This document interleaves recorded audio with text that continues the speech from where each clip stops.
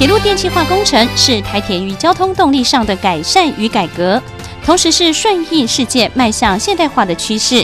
未来通车之后，不但提高行车速度、缩短行车时间，更能让民众享受行车的效率、增加运能。然而，大家在享受便捷舒适交通运输的同时，电气化的安全注意事项仍有待民众尽速来适应，共同配合所有安全上的规则。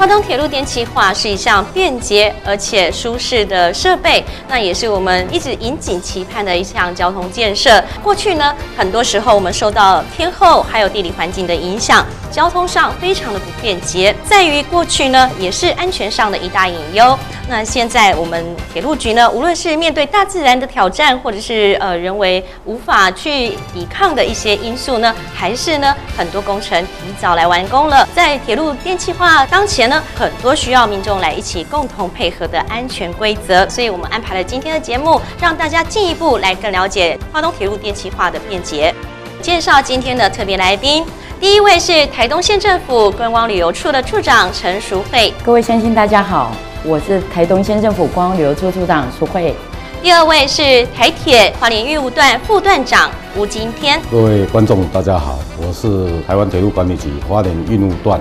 副段长吴金天，第三位是运务段花莲段的主任。各位观众，大家好，我是花莲运务段运务主任。首先呢，呃，铁路的电气化要一段时间和大家一起来度过这个适应期，所以请问一下副站长，呃，有关于我们电气化哦，所有的那个限度哦，就是高度的部分是一点五公尺，那有什么是需要我们旅客啊，还有就是呃装载货物的时候一定要注意的一些事项呢？那么电车线它是两万五千伏特的一个高压电。所以它的安全距离是一点五公尺，也就是说，接近这个电车线一点五公尺的范围以内，就会受到感电。所以说，在装载货物的时候呢，就是第一个，可能你的这个货车可能要经过这个铁路的一个平交道，所以说这个装载的高度啊，一定要在这个限制的四点二公尺以内。另外就是。这个捆绑的像帆布啊这些呢，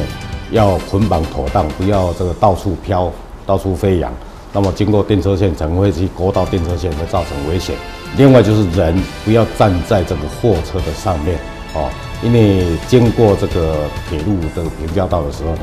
可能已经在这个一点五的这个安全范围以内啊，这个超过这个一点五公尺，那么这个会感电。所以说呢。为了要确保安全呢，所以说这个装载的高度呢，哦，这个一点五公尺的这个距离，特别特别要小心。另外就是说，我们的沿线的这个居民哦，可能你的一个所有的一个平常的一个习惯呢，可能要做一些调整啊啊，因为这个电气化以后呢，火车的速度提高了啊，那密度班次也增加了。啊，这个在沿线呢行走的时候，尤其像我们乡下人嘛，啊，有时候会下雨天过后去捡拾这个，比如这个瓜牛啦，哦，那沿着铁路旁边在走，那等你感觉的时候呢，已经来不及了，因为速度啊高达一百三十公里，也就是每分钟是两千一百多公尺的速度，那么如果换算每秒是三十六公尺多。哦，所以说等你感觉的时候，火车已经接近了，已经可能要闪也来不及了。是是。哦，另外就是临近耕作的这个农民们，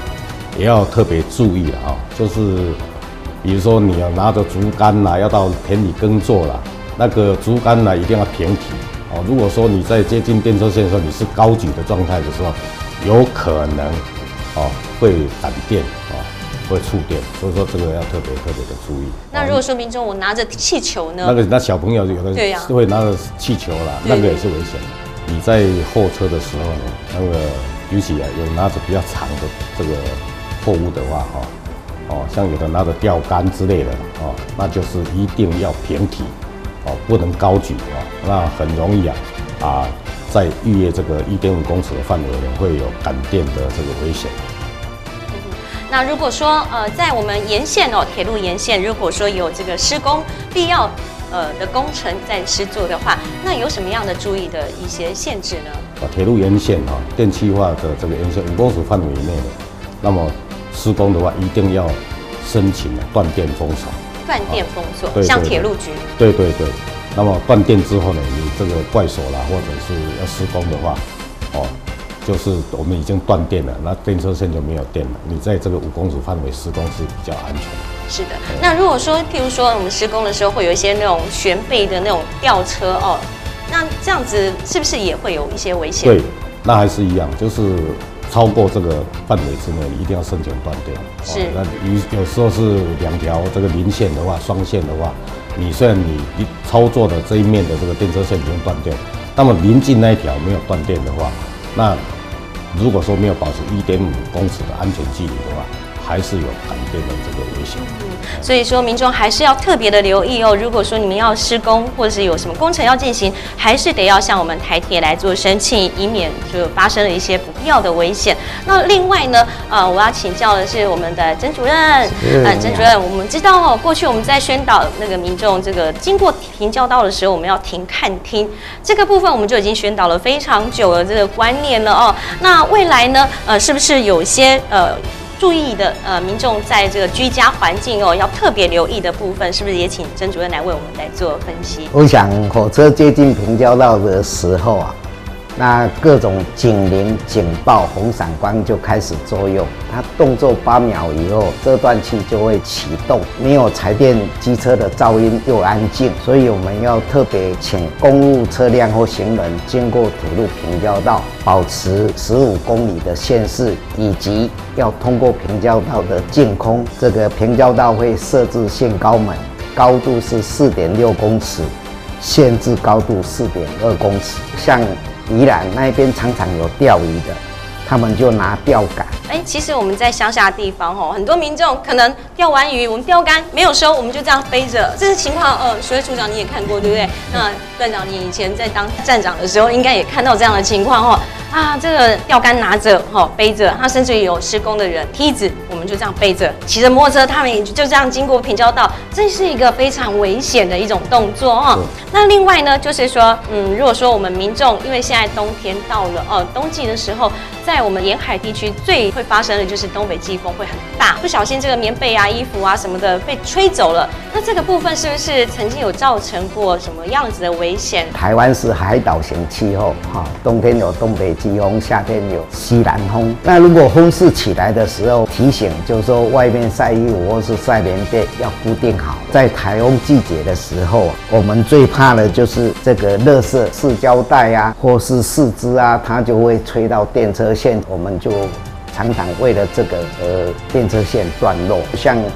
放天灯啊、放风筝啊，或是小孩子玩冲天炮，这个都会危及我们这个电车线的安全。刚刚呢，曾主任有提到的，就是说，呃，这个放鞭炮这一件事情，还有就是小朋友啊、呃，可能就放着风筝拉着线，哇，这个是非常危险的一件事情。那另外呢，就是说，在于电气化完工之后呢，我们是不是有一些安全护网哦？还有就是说，民众可能我们洗完衣服啊，我们是不是从楼顶我们就把水这样往往外泼？这种动作是不是也要尽量的避免呢？那像这个住家很临近的，我们都会做防护网来保护，希望就是说这个提醒他们不要任意由这个水来泼出来。在电话铁路沿线呐、啊，万一这个消防队来救火的时候，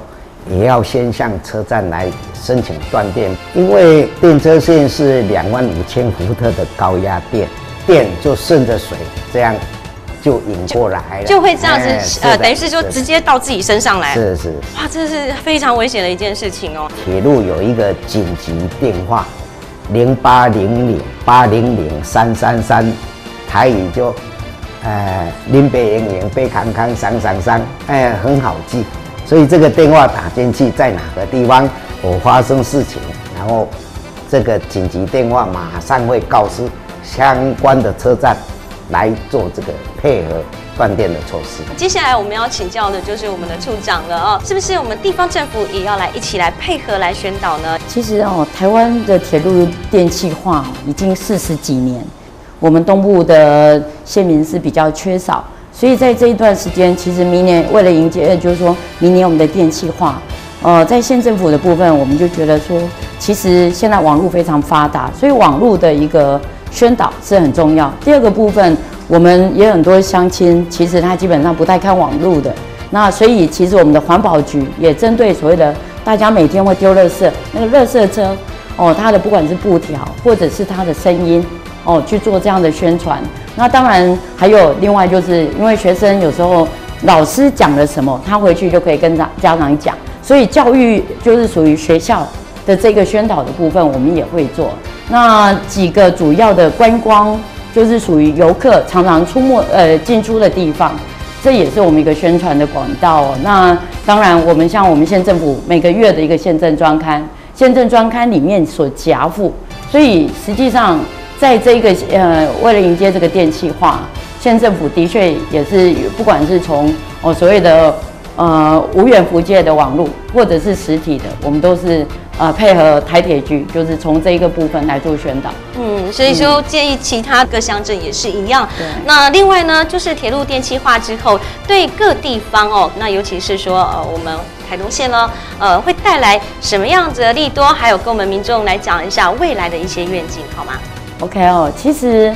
它带来的第一个好处就是让我们的乡亲。哦，能够回家的路变变快了，哦，变得更迅速。很多外地在工作的乡亲，不止一个买不到票，第二个坐火车要坐很久。那我觉得电气化以后，这两个问题都很实质的可以解决。那也可以让大家回家哦，看家人的次数变多了。哦，那当然第二个部分就是实质我们讲的观光客。我觉得各地观光客他哎班次变多，速度变快。那一样，他来台东的次数相对也会增加，所以我们会认为说，除了我们自己的县民，呃，连外地的游客要来到台东，他就会比较多。那在这底下，就自然就会有很多的不同的产业，哦，也可以真真正的呃带动起来。嗯嗯。所以说哦，其实我们在铁路电气化之后，嗯，站长，以后我们从花莲，呃，不要说花莲啦，哈，到台东啦，台东到花莲，我们甚至于说从台东到台北。哦，这个时间上我们有多快呢？那现在的行车时间呢，大概在一个小时左右。嗯，那么以后呢，缩短到普悠玛可以缩短到三个半小时。三个半小时哦。对对对。嗯。所以说会创造一些时间的效益出来。所以这就是运能，对不对？我们所谓的这个铁路的运能哦，交通的运能，那未来为我们带来的就是所有的呃观光的愿景喽，对不对？苏慧珠处长。对，没错。不过我们更期待的是说，呃，这一个普悠玛到了台东以后，它也不是一个环岛铁路网，所以我们还是期待我们南边的那个南哦南回这一段，是也虽然是预期是二零一六年，可是我们也是希望。这最后一里路能够让台东赶快达成，然后让台东的民众真的是南北都都便利。是啊，那所以说我们台铁就要贴那个快马加鞭的哦，这是压力的来源了。那个整个东线的一个电气化完成了，我们接着就是南回电气化的动工开工，哎，所以说这是一气呵成的哈。那么这个整个二零一六年以后，整个环岛的。电气化的铁路网啊就形成了，那么台东呢，往南往北都是啊有这个电气化的这个火车来乘坐，会更加的便利。啊，这个时间的缩短是。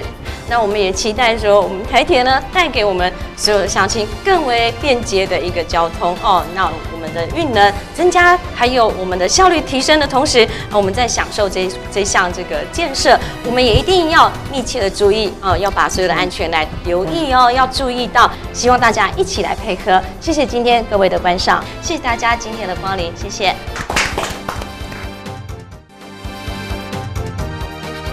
花东铁路电气化工程是一项令地方经济起飞的重要建设，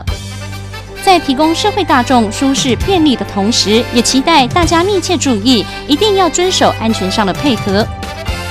掌握了舒适便捷的电气化运输服务，也务必确保自己的生命安全。